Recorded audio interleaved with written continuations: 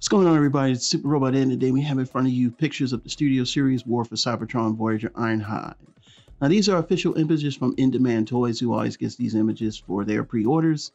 Um, notably, he has a new chest. Um, he still has the same gun arm.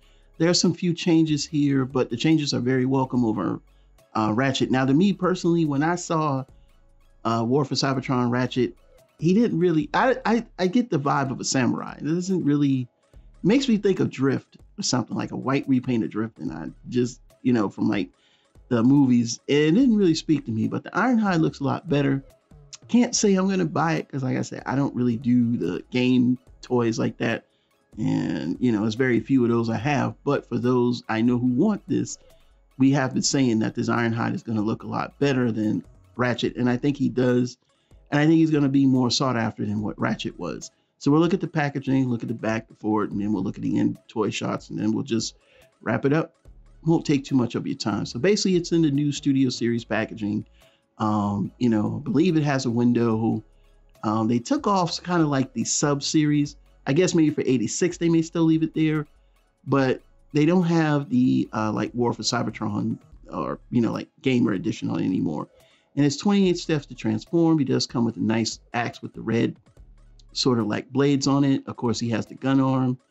Um, he's gray, primarily red. Yeah, he looks a lot better. Now, I'm just going to say that the robot mode looks a heck of a lot better, in my opinion. Now, other people are going to say different.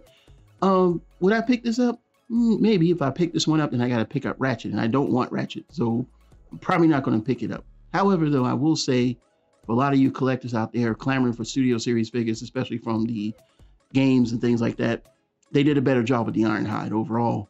Um, I think the retooling of the chest is really good. Um, the proportions look better.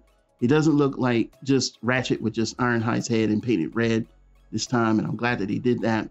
Um, I don't see anything else that's totally different from what I saw at the Ratchet overall, but you know, a color swap, head swap gives you a whole completely different character on the same body. It is what it is. We've been doing this for 40 years now.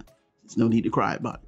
So, what are your thoughts? Leave them down in the comments below. Are you interested in getting this uh, Studio Series War for Cybertron Voyager Ironhide? For me, no, but for others, I know that's a yes. As always, please like, subscribe, and share. This is Super Robot Ed bringing more news and reviews. So then we'll see you soon. Bye bye.